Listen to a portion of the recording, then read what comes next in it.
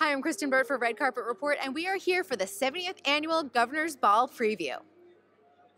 All right, tell us what is so special about Don Francisco's coffee. Well, Don Francisco's Coffee is really excited to partner with the Emmys this year, the 70th year. Um, Don Francisco's is actually LA's own roaster. It's owned. It's a brand that's owned by my family's business.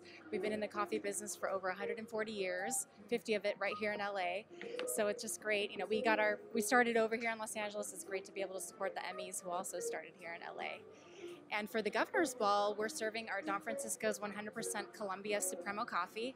As you know, Colombia is one of the most recognized regions for their, you know, of coffee for their quality. They're recognized, you know, all over the world. And so we're really proud to serve our 100% Colombia Supremo at the Governor's Ball. Well, I love that. How did this partnership come about?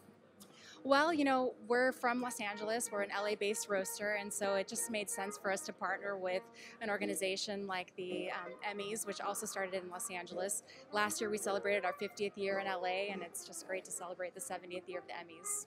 Did you work at all with the, the chef to pair any of the coffees or anything else like that? Because I know sometimes that happens with some of the alcohol companies. Did you do that for desserts and things like that?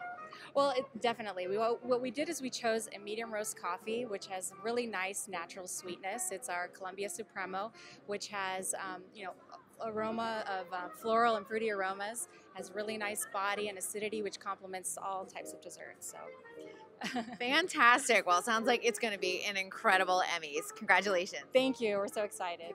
Thanks for watching. Be sure to subscribe to our channel, like this video, and in the comments below, let us know who you're rooting for this year at the Emmys.